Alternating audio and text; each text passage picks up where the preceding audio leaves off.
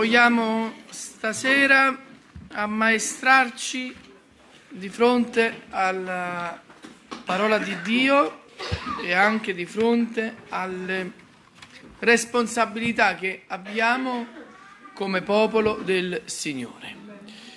Eh, credo che la, la vita cristiana credo che sia una delle cose più belle e più entusiasmanti da vivere. Beato chi comprende che questa è una verità, è una realtà, che è quella di dover eh, vivere un cristianesimo avvincente. Ma il nostro cristianesimo non è soltanto un cristianesimo di forma, non è soltanto un cristianesimo teorico, ma è anche un cristianesimo di combattimento. Um, la fede intesa come cammino, come ce la trasmette la Bibbia, ci parla di combattimento.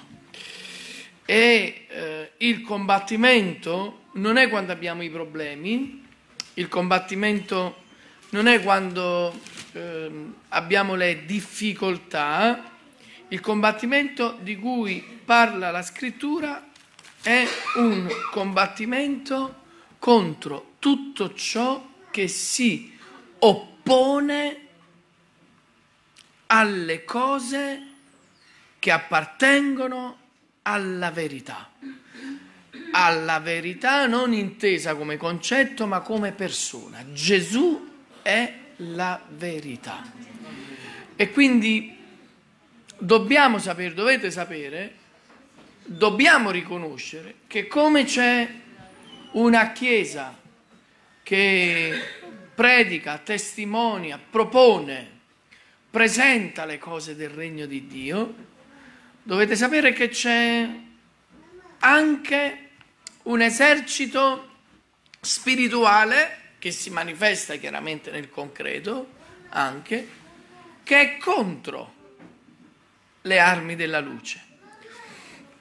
Non è contro in silenzio, parla questo esercito. Questo regno si muove, combatte, ostruisce, ehm, non vuole, non desidera che la Chiesa del Signore sia libera da tutte quelle cose che impediscono il nostro progresso nell'opera di Dio. E quindi Paolo, scrivendo agli Efesini, eh, dichiara qualcosa di eh, molto molto bello e di molto importante. Fortificatevi nel Signore e nella forza della sua potenza.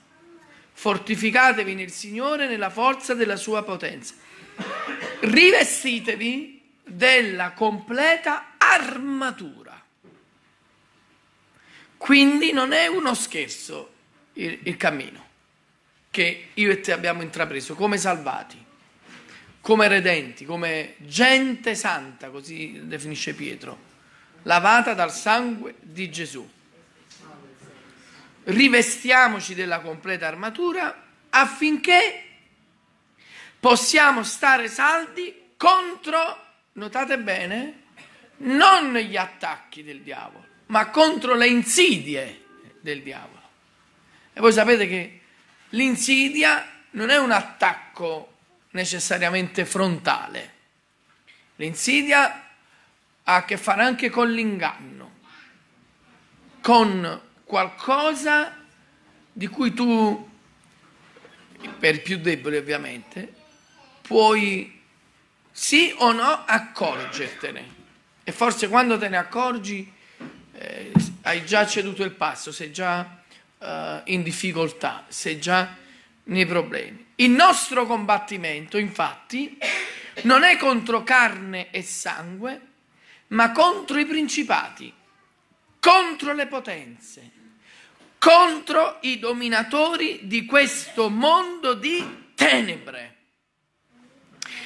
contro le forze spirituali della malvagità che sono nell'aria sono nei luoghi celesti. Perciò prendete la completa armatura di Dio, quindi completa. L'armatura non deve essere parziale, ma completa. Non deve essere eh, qualcosa che pensiamo di risolvere um, con poco, con leggerezza.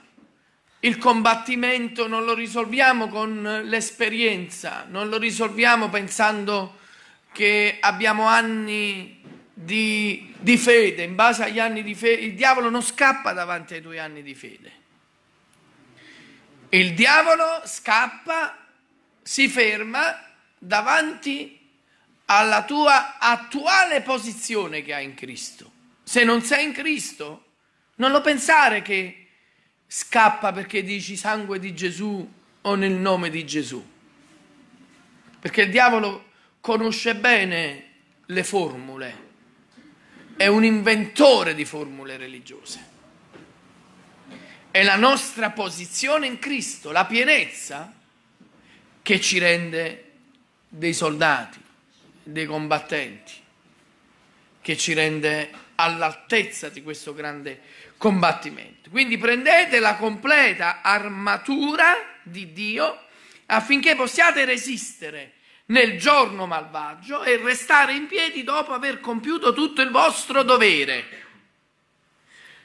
State dunque fermi, prendete la verità per cintura dei vostri fianchi Rivestitevi della corazza della giustizia, mettetevi come calzature ai vostri piedi lo zelo dato dal Vangelo della pace, prendete oltre a tutto ciò lo scudo della fede, con il quale potrete spegnere i dardi infuocati del maligno.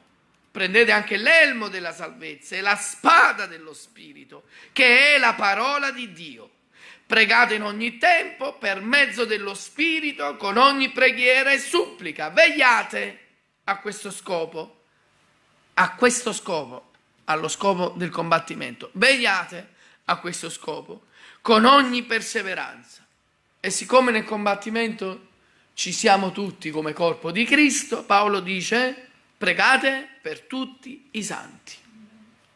E anche per me, affinché mi sia dato di parlare apertamente di far conoscere con franchezza il mistero del Vangelo per il quale sono ambasciatore in catene perché lo annunci francamente come si conviene che ne parli.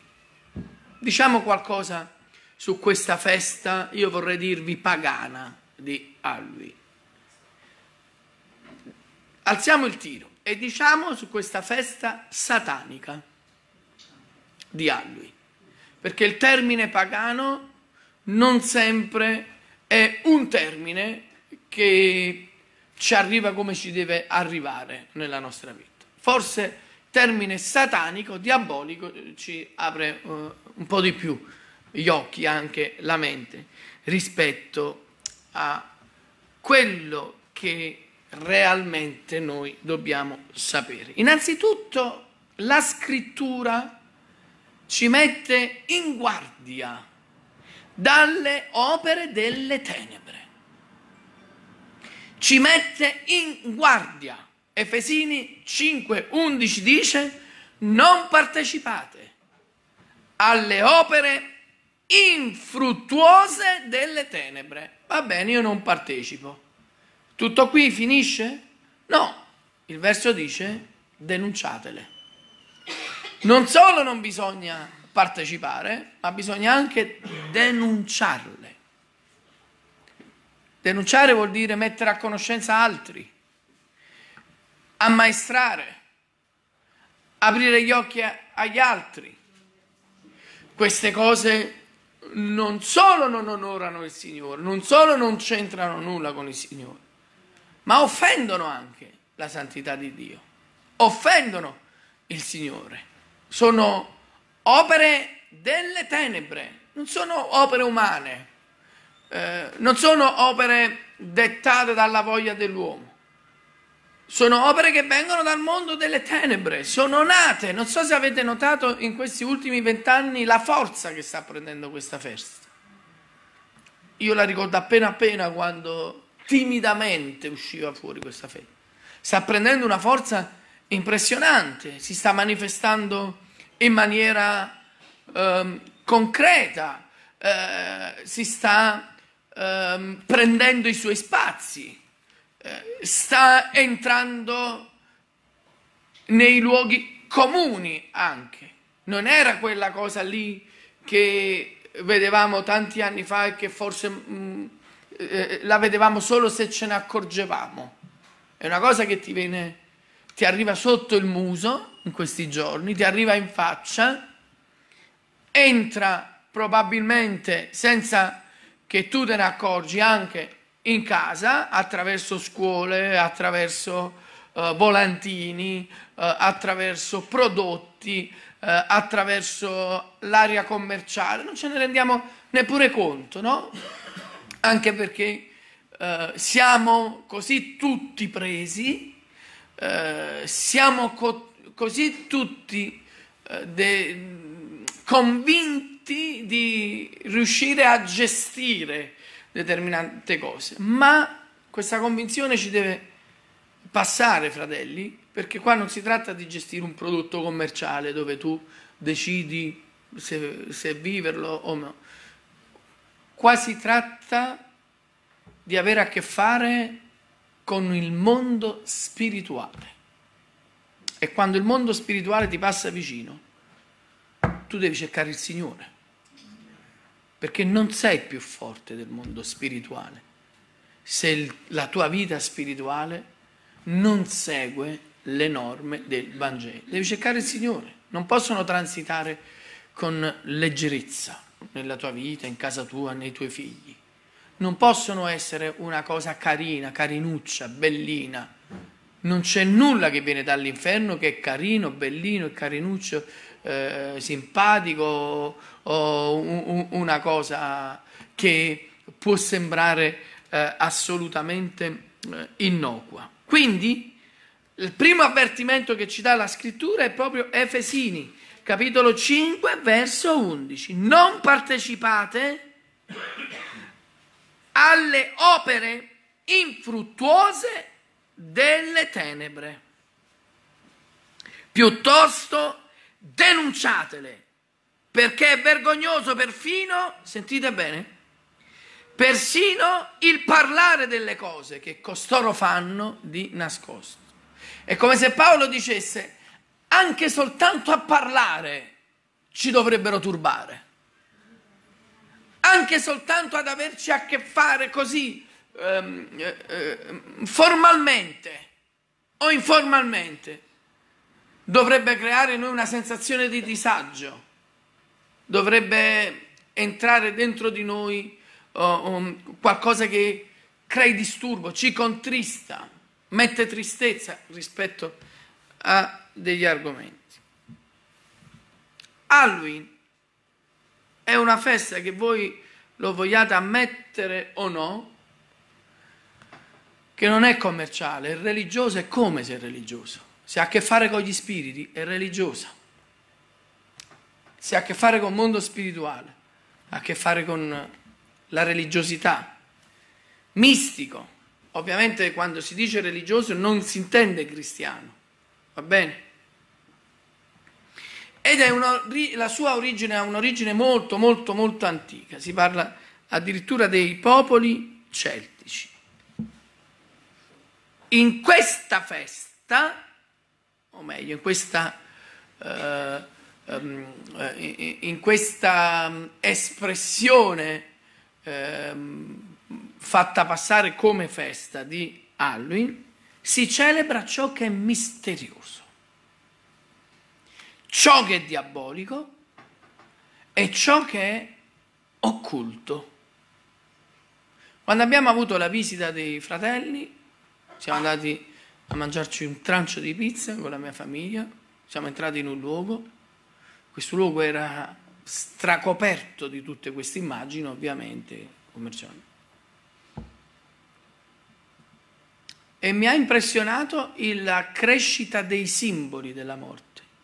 Io li ricordavo, li ricordavo determinati simboli, che sono ovviamente satanici, ma proprio in questo posto, all'altezza di fronte, per mangiare un trancio di pizza stiamo parlando, c'era il coperchio di una bara. Coperchio di una bara. E tutto quello che c'era in questo posto lo abbiamo vissuto come un gran combattimento spirituale.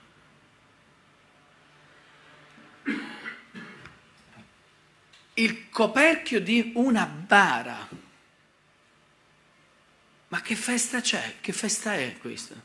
Cioè che cosa dovrebbe, che tipo di allegrezza dovrebbe portarci soltanto per i simboli eh, che ha? Che cosa dovrebbe celebrare? Che cosa dovrebbe divertire?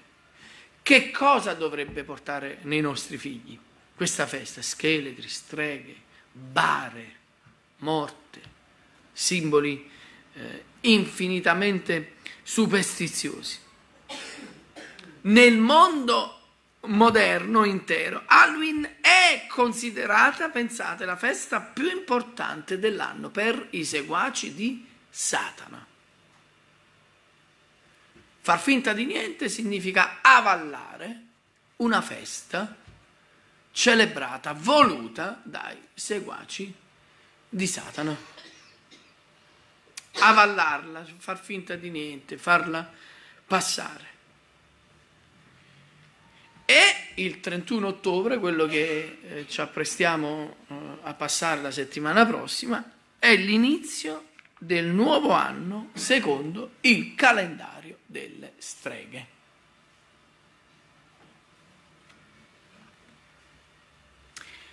Una enciclopedia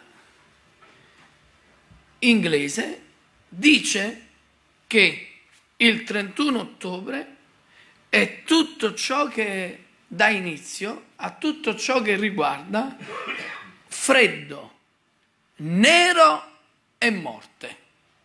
Lo dice ovviamente in, in inglese. Cioè questa festa introduce questi aspetti estremamente negativi ovviamente, che sono privi di luce, privi di calore, privi, privi di, di familiarità, freddo, nero, o meglio il termine è dark, tenebre, nero inteso come tenebre, e morte.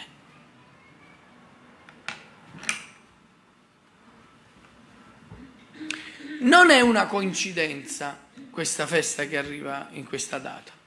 C'è una storia molto molto importante indietro, alle spalle. Non è casualità. Nessuno si è alzato vent'anni fa, trent'anni fa e ha detto facciamo la festa di Halloween. Ha una storia. E noi ci dobbiamo interrogare sulle storie, fratelli. Noi ci dobbiamo interrogare sulle cose che ci vengono proposte di vivere, da dove arrivano, qual è la loro origine. Quando ci interroghiamo intorno al battesimo nello Spirito Santo, qual è la nostra origine se non quella di Atti 2? Ci interroghiamo, questa esperienza viene da Atti 2, è scritto nella Bibbia la pienezza, la nuova nascita, no? Viene da Giovanni 3,16. Dio ha tanto amato il mondo che ha dato il suo unigenito figliuolo affinché chiunque creda in lui non perisca ma abbia vita eterna. È la stessa cosa, non possiamo vivere queste feste perché le vivono tutti quanti e, e, e veniamo, tra virgolette, travolti da, dalla folla eh, e siccome lo fanno tutti, lo facciamo anche noi. Perché qui ne vale la nostra salute spirituale. Non vi impressionate di quello che vi dico, fratelli, ma il calo tremendo delle benedizioni nelle chiese è dovuto all'entrata di cose che prima i fratelli i santi rifiutavano. Oggi in mezzo a noi, in generale parlo, eh, parlo della Chiesa in generale, in mezzo a noi si è arrivata con una grande facilità ad ammettere tutto. Siamo diventati tutti dei grandi giustificatori. Ma sì, va bene, ma figurati. Eh, non ci preoccupiamo più di nulla. Sembra che non conti tanto il motivo per il quale ci raduniamo, quanto il radunarsi stesso. L'importante è che siamo insieme, ma il motivo qual è? Se non quello di onorare la presenza di Dio. Qual è il motivo se non quello di andare nella presenza di Dio? Quando vengono a mancare queste cose, vuol dire che ci siamo creati delle cisterne dove riponiamo la benedizione che riceviamo da Dio, ma sono cisterne screpolate. E queste screpolature, questi buchi nelle cisterne, potrebbero essere cose che sono, sono entrate nella nostra vita, che hanno consumato il contenitore dell'anima nostra, eh, senza che ce ne siamo resi conto, senza eh, che lo decidessimo magari per magari superficialità, magari per mancanza di forza, magari anche perché mh, la penso così. L'Apostolo Paolo dice che lui ogni suo pensiero lo ha reso schiavo a Cristo, lo ha reso servo di Cristo, ogni suo pensiero, perché noi siamo fatti di pensieri, siamo fatti di desideri ma non perché abbiamo dei pensieri, dei desideri, delle visioni, vuol dire che dobbiamo attuarle se non sono in regola con la volontà di Dio, con la scrittura.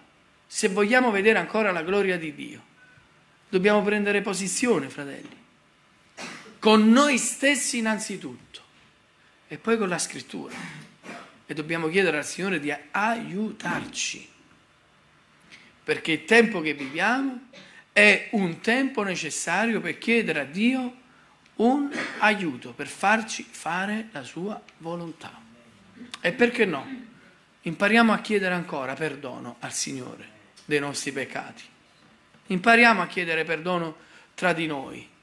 Impariamo ad abbattere questi muri che eh, ci dividono eh, e, e, in qualche modo eh, ci, ci, isolano, creando anche una tra virgolette, una falsa comunione. Noi vogliamo la comunione del cielo, le cose che vengono dal cielo. Noi vogliamo il Salmo 133 che non sia una lettura, ma sia un'esperienza. Quanto è bello, quanto è buono che i fratelli dimorano insieme. Perché? Non è bello perché si incontrano, non è bello perché chiacchierano, non è bello perché si danno appuntamento, non è bello perché ogni tanto possono fare la chiacchierata eh, per loro contro Tizio, contro Caio. È bello perché quando si radunano insieme scende dal cielo la benedizione, si manifesta la vita eterna in mezzo a loro. Ed è questo che noi dobbiamo cercare.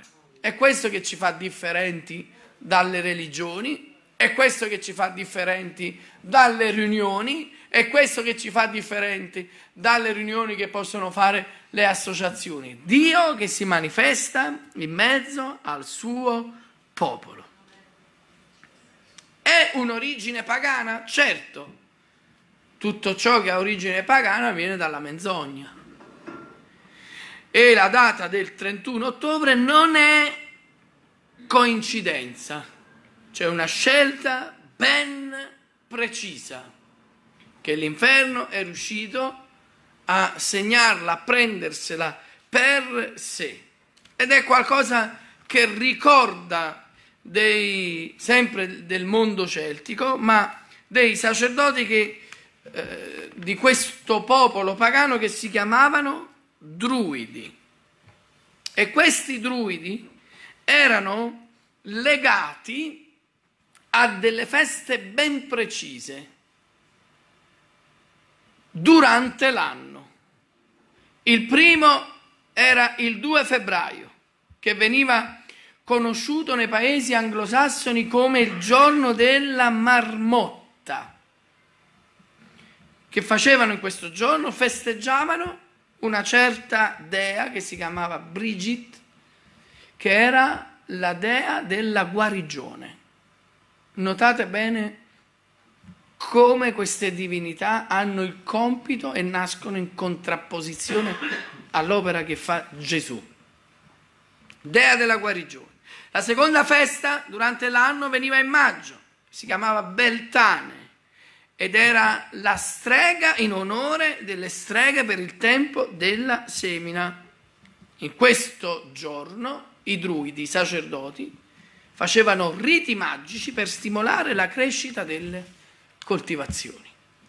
Poi la, avevano la festa delle raccolte in agosto in onore del dio Sole, che commemorava un certo Lulg che significa il risplendente.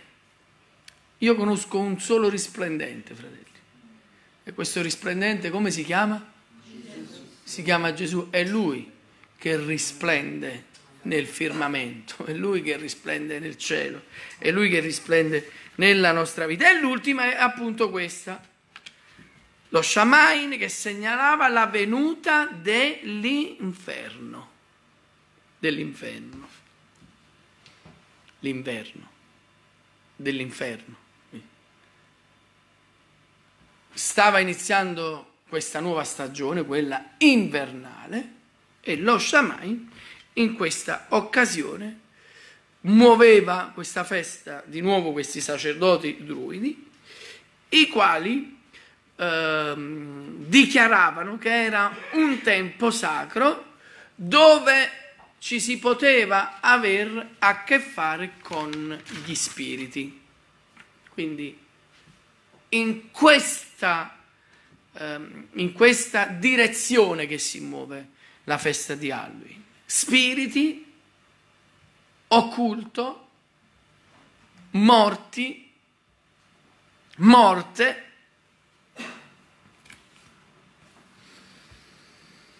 Un'enciclopedia americana dice che il 31 ottobre, la notte prima del festival di Sambain, era considerato il tempo dell'anno nella quale gli spiriti buoni, come i cattivi, giravano per la terra.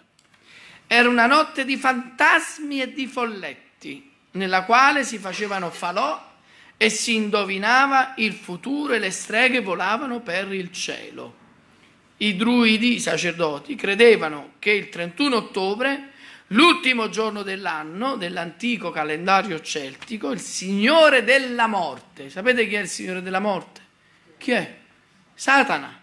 Riuniva le anime dei morti che erano state obbligate ad entrare nei corpi degli animali e decidevano quale forma dovevano prendere nell'anno successivo. Ci sono diverse dichiarazioni anche per quanto riguarda una enciclopedia eh, di origine cattolica, ma mh, mm, lasciamo stare. Parliamo eh, un po' più nel vivo di questa festa. I druidi, che erano mm, preti, per illuminare il loro cammino, queste campagne, portavano delle rape svuotate e tagliate in forma di viso. Vedete, no? nel quale bruciava una candela prodotta con il grasso umano dei sacrifici precedenti. Questa candela era stata prodotta dal grasso umano dei sacrifici di morti che c'erano stati. Queste rape rappresentavano lo spirito che rendeva efficace le loro maledizioni. Questo spirito lo chiamavano spirito familiare. Questa usanza arrivò negli Stati Uniti tra il XVIII e il XIX secolo e al posto delle rape iniziarono a usare le zucche. Il nome dato allo spirito che abitava nella zucca era Jock, oggi conosciuto sotto il nome di Jack, che abita nelle, eh, in queste zucche. La parola Halloween viene dall'inglese e questa parola significa vigilia di ogni santi e siamo spesso, eh, la pensiamo, eh, provenendo dalla falsa religione, la pensiamo come ad una tradizione cristiana. Vi ricordate no? che c'è una festa altrettanto pagana, il primo che si chiama Tutti i Santi, ogni santi, il due commemorazione dei morti, dei sacri fedeli defunti, così la chiama la Chiesa cattolica. E le origini queste, di, questo, di questa celebrazione Halloween quindi si appoggiano ad origini pagani però non hanno nessun rapporto con questa tradizione religiosa. Quello che realmente questa parola significa è sia Satana riverito o innalzato. Questo è il motivo di Halloween. Nel mondo satanico c'è questa dichiarazione sia Satana riverito o innalzato. Il 31 ottobre per i maghi, stregoni, chiaroveggenti, visionari, il momento migliore per poter rafforzare il loro lavoro, per poter consacrare agli spiriti il loro lavoro. Molti satanisti in questo giorno, in questo giorno, praticano sacrifici umani durante la notte negli Stati Uniti, in Australia, in Francia e ogni anno il satanismo sta crescendo. Questo eh, fenomeno diabolico è in crescita, ma la crescita è dovuta a tutte queste forme, tra queste alui, che si presentano in modo piacevole, da attirare, da, da, da, eh, da voler rendere partecipe, eh, attraverso uno scherzo, attraverso, eh, secondo loro, un gioco, attraverso un ballo, secondo loro. In Inghilterra si, si realizzano sacrifici in onore al dio della morte. Eleggono la regina delle streghe in questo giorno nella chiesa della magia nera. L'eletta ottiene la fame, la cosiddetta fortuna e poteri psichici per compiere atti di malvagità.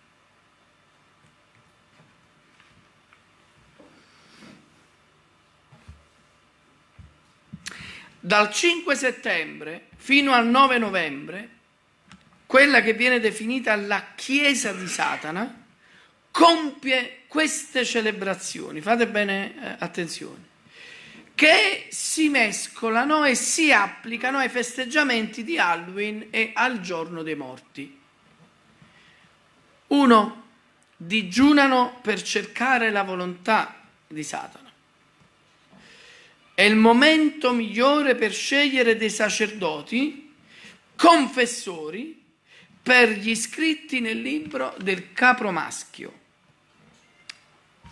È il momento migliore per decidere di combattere contro la Chiesa di Cristo, non contro la Chiesa religiosa, contro la Chiesa di Cristo, per maledire il corpo di Cristo. Qualche anno fa ci fu un terribile convegno satanico che si tenne a Torino qualche, più di qualche anno fa. Stiamo parlando di un 25 anni fa forse, o 20-25 anni fa. In questo convegno si discusse su come bisognava agire affinché le famiglie dei credenti fossero spezzate, rotte, affinché matrimoni tra credenti si spezzassero. Questa era la decisione che fu presa in questo convegno. Non so se ve la ricordate, ne avevamo anche parlato di questo all'inizio del mio ministero quando arrivai qui. Cosa pensate che si riuniscono? Per cosa? Non pensate che si riuniscono per discutere, per vedersi. I loro sono attacchi al corpo di Cristo. Secondo loro, contaminare la Chiesa ridurre la potenza della Chiesa, far arrivare appunto da ridurre la potenza della Chiesa, comprometterla, far entrare le menzogne, la superstizione, oltre anche alle, divisioni, è il modo migliore per non far avanzare il corpo di Cristo. Rituale per maledire il corpo di Cristo. Riflessioni, disciplina addirittura, digiuni e mantre. Sapete cosa sono le mantre? No? Le formule ripetitive, magiche. Riti tradizionali, confessione dei peccati contro il diavolo. Benedicono coloro che si sono integrati nei gruppi satanici, ordinano, ascoltate bene, ordinano i ministri che lavoreranno per il rock, per i musicisti, per i manager, per i promotori di queste cose. Questi sono documenti, eh? non sono cose così. Maledicono tutti quelli che hanno avuto a che fare, tutti quelli che hanno avuto a che fare con i cristiani. Si battezzano nell'acqua di fogne, nel sangue dei bambini o di adulti sacrificati. Il 31 ottobre è l'iscrizione nel libro del capro maschio. Inizia per loro, cioè l'anno satanico si invoca il potere totale di Belzebù, Nostradamus e altri demoni. Il primo novembre si sigilla ai satanismi, agli spiriti dei morti per portarli, tra virgolette, al purgatorio, affinché diano offerte. C'è una marea di gente che dà offerte per i morti, una marea di gente. C'è una marea di gente che vive ancora tradizionalmente il loro rapporto con le tombe, con i cimiteri, non riescono a, a liberarsi. Altari consacrati ai demoni, ricordi ai morti affinché siano altare per l'invocazione ai demoni. Io spero, eh, fratelli, e mi prendo la responsabilità enorme di quello che sto per dire adesso, visto che siamo in diretta io spero che Dio ci dia la possibilità un giorno, a me mi dia la possibilità un giorno, di spiegarvi in tutte le forme il cattolicesimo alla luce della scrittura. Perché io sono molto, ma molto convinto che molti di voi, anche nel mondo evangelico, che sono nati nel mondo evangelico, non sanno che cos'è il cattolicesimo, il vero cattolicesimo. Ed è per questo che purtroppo a volte si assiste anche a questa leggerezza, credenti che si mischiano in eh, feste eh, pagane, eh, comunioni, cresimi, battesimi. Spero che Dio mi dia la possibilità, perché è Dio che la deve creare questa possibilità, di spiegarvi un giorno che cos'è il cattolicesimo alla luce della scrittura però, con tutti i suoi dogmi, con tutta la sua storia, con tutto quello che ne consegue. Vi assicuro che spiegato dopo, vi assicuro che mm, vi fa fastidio anche usare la parola cattolico dopo. Ma questo è un problema. Noi siamo pronti a fare conferenze per evangelizzare l'Islam, siamo pronti a a fare cose per queste sfide enormi no, in Italia, non ci rendiamo conto che in Italia c'è un problema molto forte, spiritualmente parlando, che tiene schiavi un gran numero di gente, di bambini, di ragazzi, di adolescenti.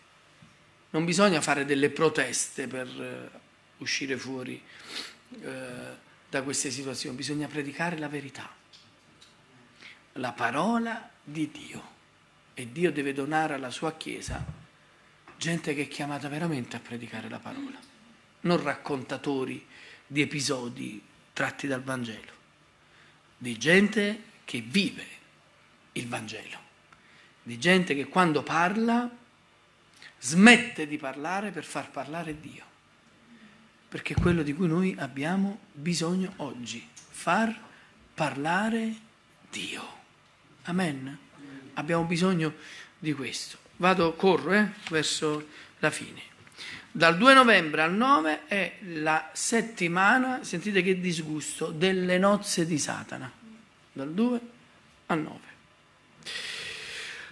Oggi, attualmente, la celebrazione di Halloween è l'ultimo dei rituali che si realizzano per sei settimane consecutive. Ora, eh, la domanda che oggi viene, la più spontanea, è questa qui. Ma che male c'è a festeggiare?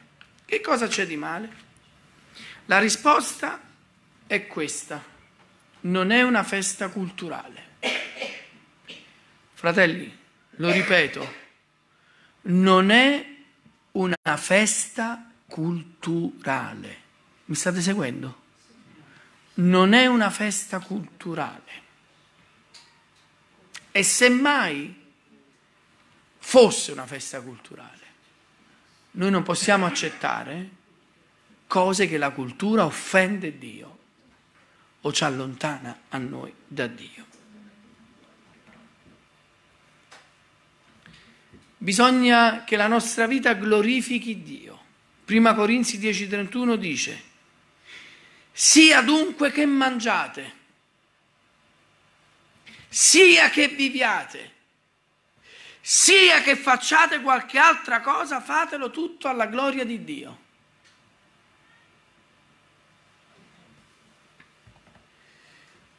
Poster comprati o donati a bambini con streghe sopra la scopa, passando di fronte ad una luna, mostrano a questi essere in cammino ad un culto speciale, mostrano un culto speciale a Satana le teste tagliate con il viso di una persona. Ci parlano di maschere di, di morte, tragedia. Tra l'altro erano utilizzate dai druidi durante lo sciamai. Tutto il concetto dietro il giorno delle streghe sta in relazione proprio con le tenebre, la morte, la paura l'inganno, il satanismo. Gesù ha detto il ladro non viene se non per rubare, ammazzare e distruggere. Io sono venuto perché abbiano la vita e l'abbiano in abbondanza. Ditemi voi, parlano di vita queste cose? Ci parlano di vita in abbondanza queste cose? Perché non dobbiamo festeggiare? Perché non possiamo, eh, tra virgolette, rilassarci su questo, far finta di niente? Dobbiamo ricordarci che non possiamo essere di ostacolo agli altri, anche nella testimonianza. Cerchiamo, Romani 14, da 19 a 21 dice, cerchiamo dunque di conseguire le cose che contribuiscono alla pace e alla reciproca edificazione non distruggere per eh, una tradizione l'opera che Dio ha iniziato nella tua vita.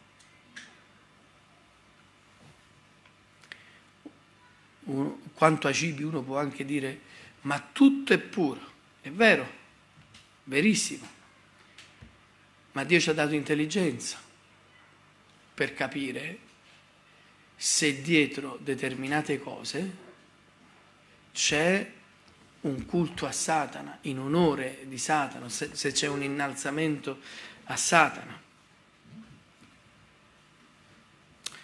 Bisogna che impariamo a essere imitatori di Cristo.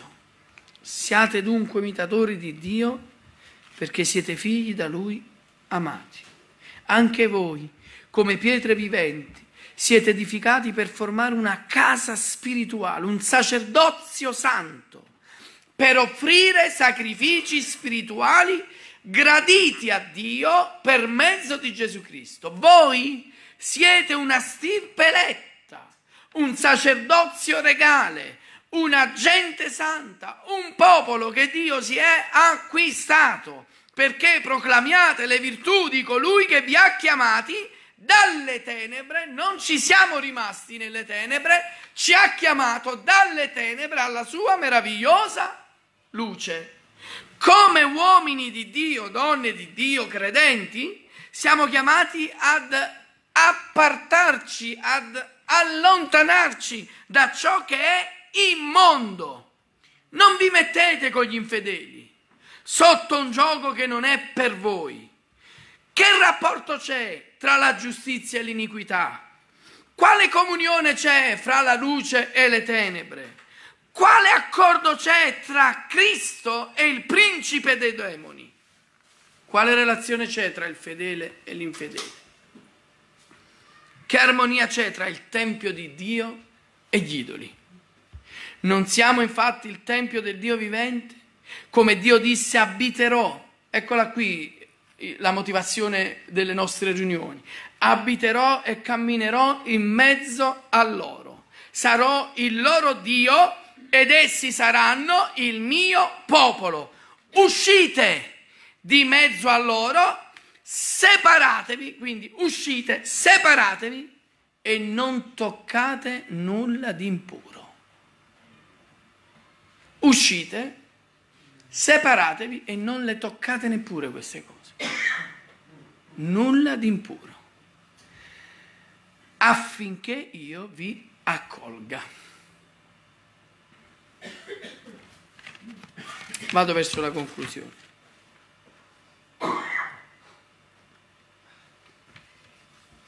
La simbologia di queste feste chiariscono senza troppo approfondire le dinamiche di queste feste. Lampade dentro le teste che rappresentano un'immagine demoniaca. Mezzaluna, sapete la mezzaluna rappresenta la magia.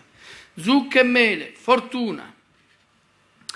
Pipistrelli e civette associate alla credenza di comunicazione con i morti, i gufi.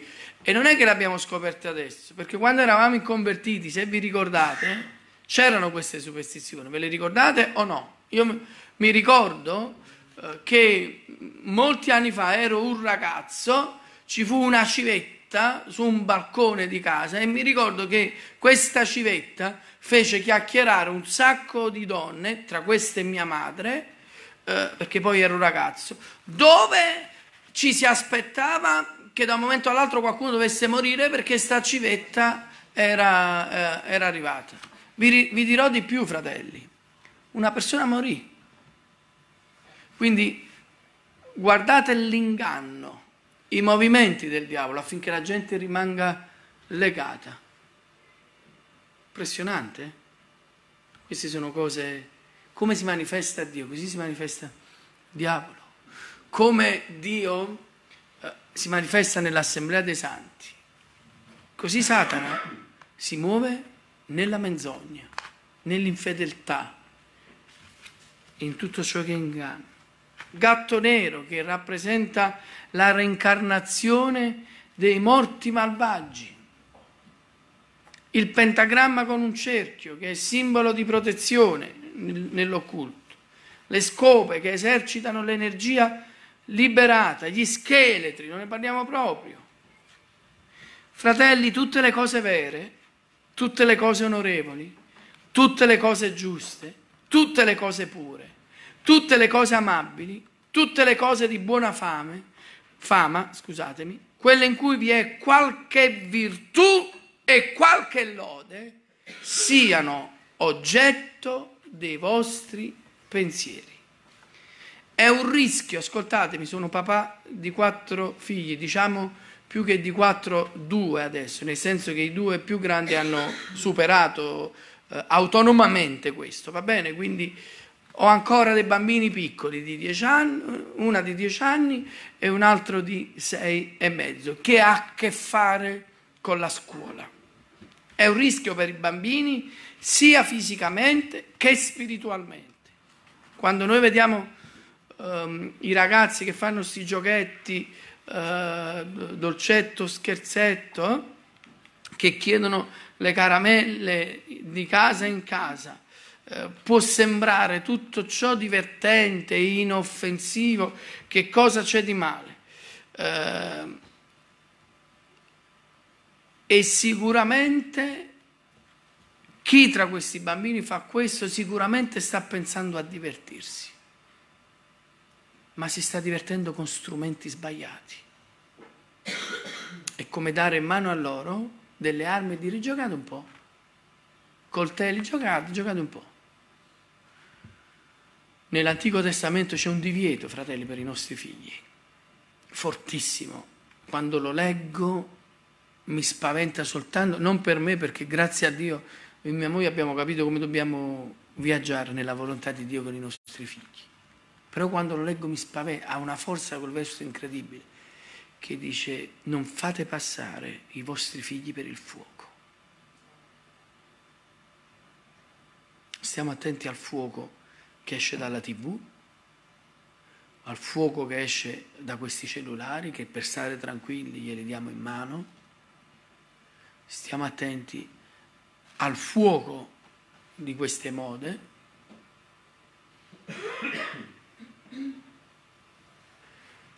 dobbiamo avere gli occhi anche sui messaggi che i nostri indumenti che diamo ai nostri figli hanno. Non molto tempo fa, lo dico perché tanto ci seguono in diretta, va bene anche per loro. Non molto tempo fa era uscita una, una moda così stupida, così insensata, quanto, a mio avviso, quanto pericolosa. Queste magliette del bambino schizzato che fa la pipì in mezzo alla strada. Non so se avete capito di cosa... Ma, ma, che, ma che, messaggio è? Sulla la maglietta del bambino schizzato che, che ha una smorfia eh, che vuole far capire alla società che non è d'accordo eh, e faceva la pipì, il segno proprio della pipì su strada. Una marea di gente con queste cose. Queste cose transitano nelle nostre case, non ce ne rendiamo manco conto. Arrivano, tu, che carino. Non molto tempo fa è nata una moda di magliette con il teschio, brillantinato proprio per renderlo più carino. No? ma perché io devo camminare con una maglietta con un teschio? Perché? Cioè che cosa mi dice a me sto teschio? Perché nella presenza di Dio deve entrare sto teschio? Perché?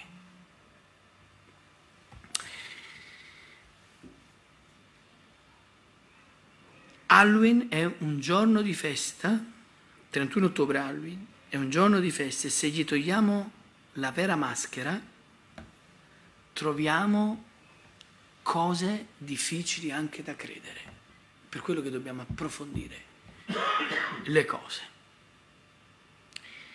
Quello che appare esternamente, apparentemente, non è altro ciò che dice la scrittura, angelo di luce, e poi nasconde i drammi, i legami, le invocazioni usare, toccare queste cose, far finta di niente, significa magari non essere d'accordo con il mondo satanico, e lo spero,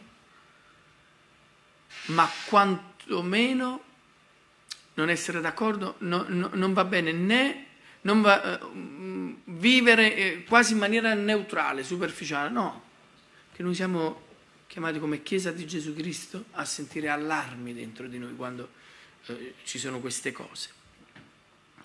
E quindi, infine, ricordiamoci che lui è il padre della menzogna e vuole ingannare la gente. Seconda Corinzi 11:14 dice, non c'è da meravigliarsene, perché Satana si traveste da angelo di luce.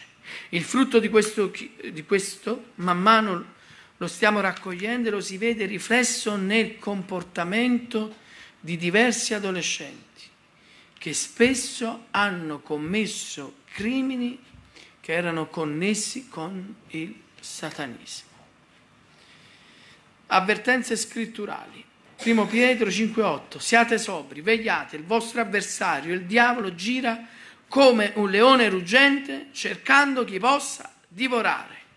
Non dobbiamo essere ignoranti nelle sue macchinazioni, il peggior nemico dell'uomo è l'ignoranza e Satana si approfitta delle cose che noi ignoriamo e queste si possono vincere soltanto per mezzo della conoscenza. Per questa ragione è buono che il credente non solo sappia cosa c'è dietro questa celebrazione. Osea 4,6 dirà: Il mio popolo perisce per mancanza di conoscenza. Seconda Corinzi, affinché non siamo raggirati da Satana, non ignoriamo infatti i suoi disegni. Sottomettetevi a Dio, resistete al diavolo ed egli fuggirà da voi. Rivestitevi della completa armatura di Dio affinché possiate star saldi contro le insidie del nemico. Deuteronomio 18, 9 e 12 dice, quando sarai entrato nel paese che il Signore il tuo Dio ti dà, qual è il paese che il Signore ci ha dato? È la terra promessa? La grazia? Quanti di voi sono entrati in questo paese? Alzate la mano. Ok. Quando sarete entrati in questo paese, tu non imparerai a imitare le pratiche abominevoli di quelle nazioni. Abbiamo lasciate, basta. Basta, non abbiamo più a che fare. Non si trovi in mezzo a te chi fa passare suo figlio o sua figlia per il fuoco, né chi esercita la divinazione, né astrologo, né chi predice il futuro, né mago, né incantatore, né chi consulta gli spiriti, né chi dice la fortuna, né negromante, perché il Signore detesta chiunque fa queste cose. Ascoltate bene a motivo di queste pratiche abominevoli, il Signore, il tuo Dio, sta per scacciare quelle nazioni. Fratelli, prendiamo coscienza che la nostra vita spirituale è anche un combattimento, che possiamo vincere soltanto con la scrittura. Voglio dirvi una cosa perché potrebbe essere frainteso, ne parlavamo proprio con mia moglie riguardo a questo qualche giorno fa. Ci sono delle cose che non si vincono solo con la preghiera. La preghiera non basta. Ci sono delle cose che la preghiera riuscirà ad avere il suo effetto con la parola. Io posso pregare pure dieci ore. Se questa qui non mi garba, le nostre preghiere saliranno al tetto e non cambieranno la nostra vita. Ho conosciuto nella mia vita in generale persone che mi mettevano in difficoltà tanto che pregavano. Ho conosciuto persone che hanno consacrato a Dio, ovviamente, ore di preghiera durante il giorno. E quando io li vedevo, a me mettevano in difficoltà, dicevo, ma guarda un po'. Le stesse persone che ho conosciute così forti nella preghiera erano sguarniti nella parola, caratteri che non cambiavano, Cristo che non si manifestava. La scrittura dice l'ubbidienza va meglio del sacrificio. Vogliamo pregare? 10 ore, 15 ore, 20 ore, vogliamo svegliarci, pregare fino a che andiamo a dormire, facciamolo, è importante. Ma nulla servirà se quella preghiera non si muove sul terreno dell'ubbidienza alla parola di Dio. Amen. Amen. Ammaestriamoci e vinciamo ogni battaglia con le armi della fede. Dio ci benedica.